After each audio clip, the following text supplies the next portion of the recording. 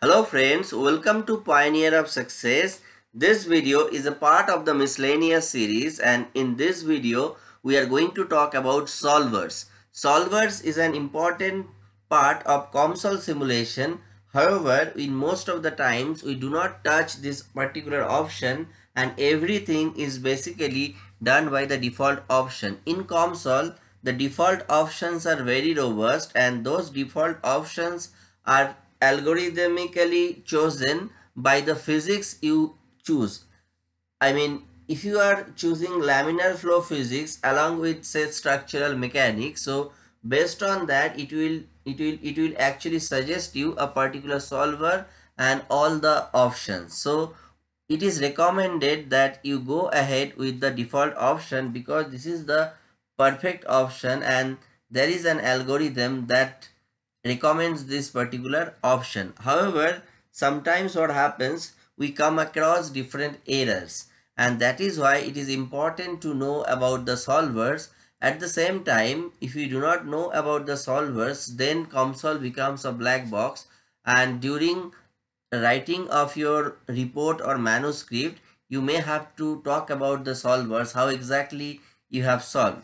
And because of all this reason, this is essential to know about the solver. So here you can see in the study option, you will get a time dependent solver and there is an option automatically chosen that is direct. And if I right click on this time dependent option you can see there are two options and those are direct and iterative. And after that you see there are options like fully coupled and segregated so today we will be talking about this four. I have partially talked about fully coupled and segregated in different models I have uploaded previously. So initially let us complete this two that is fully coupled and segregated. So suppose you have two physics to solve. Say one is your heat transfer and another is your fluid mechanics. So if these two are coupled then we should go for fully coupled. That means the solution of one particular physics is interfered by the solution of the other. So in that particular case, you cannot solve these two equations separately and that is why the need of fully coupled appears.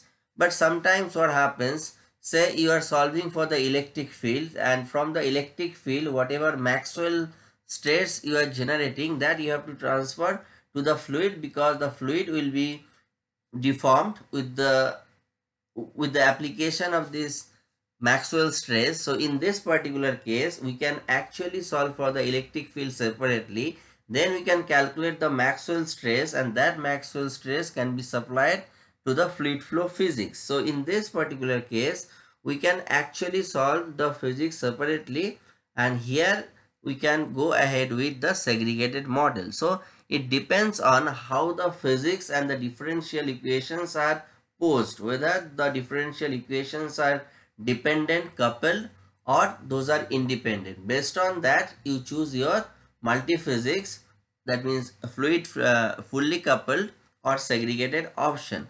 But what we are doing in the background, so whenever we choose few physics, that means we are choosing few equations and we are actually solving those equations and this particular platform is to solve the equations numerically.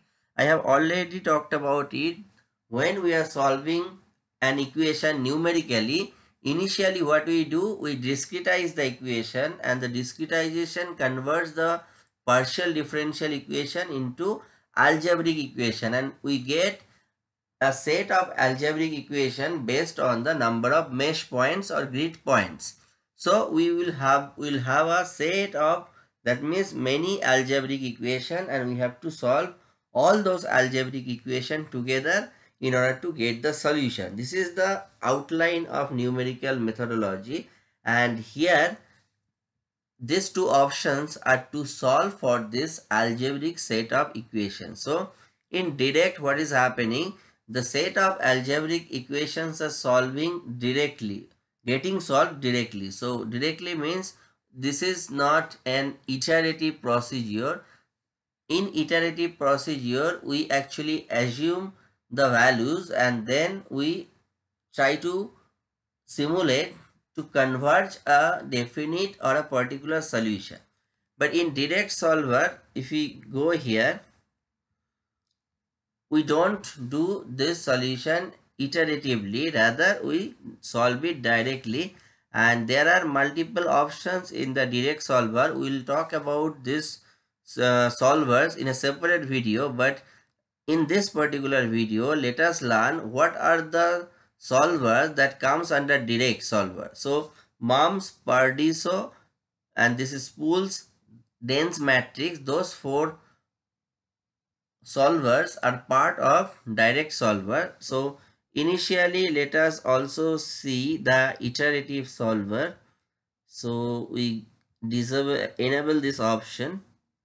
So you see in iterative method we have this is GMRES FGMRES. So we'll be talking about these things briefly in the upcoming videos. But here you have to understand those are iterative method. That means we assume some value and then we keep on iterating and the values will keep on changing and we continue the process when the error becomes minimum. So what is the error? Error means if we suppose you have to solve for x, y and z you have three set of equations so instead of doing any matrix method or direct solving you assume the values for x y z and you start cross checking them with the help of the equation. Now in every iteration the, you are assuming new values and modifying that value based on certain numerical approaches. So you have to keep doing these steps when uh, until you get the accurate value that means the accurate roots of x y and z so this is how the iterative process go but in direct solver what happens we do not assume any value we solve it directly and this kind of solutions are basically done by LU decomposition in COMSOL. So I thought of showing you some glimpses of LU decomposition. So this is the Wikipedia page for LU decomposition. This is nicely written here. So in LU decomposition, what we do? We, we split a matrix into L and U where L is the lower triangular matrix and U is the upper triangular matrix. So you can see initially these are the elements of the 3 by 3 matrix. You can see the elements are given by a11, A12, A13, A21 and up to A33. So somehow we have to express this particular matrix as a multiplication of lower triangular matrix. This is called lower triangular matrix because if you take a diagonal only the lower element exists and this is the upper triangular because again you take this diagonal and you see only the upper elements are existing and the lower elements are zero. So if you can do this some way then it becomes very easy to solve because you see uh, here, once you multiply it you will have solution for a particular say x y or z. Among this you will have a solution of x say. So then once you have the solution of x you replace you substitute that in the second equation and you will get for the second term that is y value and similarly you can also get the z value. So maybe things are not clear because I am not doing it by hand. However, you, you can go through this LU decomposition method then you can understand it thoroughly. However, this is a direct method of solving that I wanted to convey and I I feel that this message I can convey to you appropriately. So sometimes what happens you get some error while you choose the direct direct solver. And the errors are uh, like this. There is a nice blog in COMSOL. So I'll show you that particular blog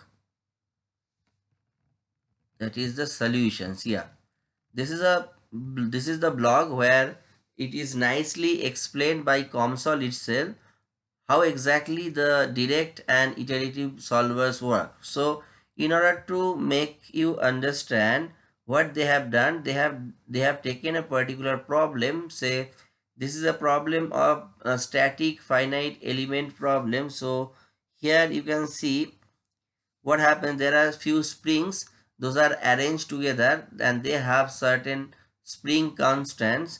And we are solving for the motion of this particular body or combination of springs. So for this particular case they have actually designed the problem. They have certain equations and those equations they try to solve directly. And also so this is a kind of direct method and also iter by an iterative method.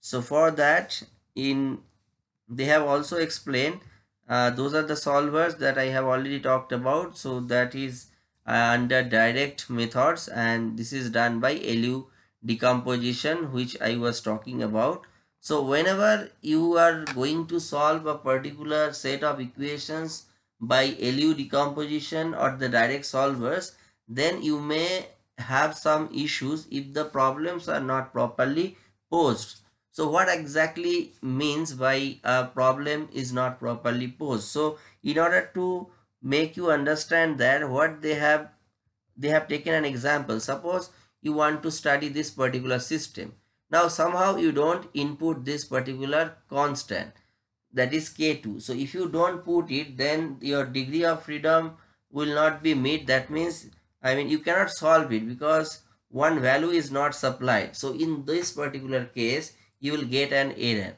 and the error may also come from some other input error. Suppose out of this either you don't supply for k1, k2 or k3 or you don't supply for this I mean other inputs that could be the deflection of the spring, initial deflection. So based on the physical problem actually, but if you don't supply anything that is basically required to solve the problem, then you will get an error.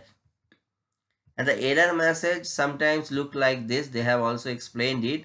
That is a fail to find a solution. The relative residual is greater than the relative tolerance. So this kind of error you will get and you, the solution will not be converged.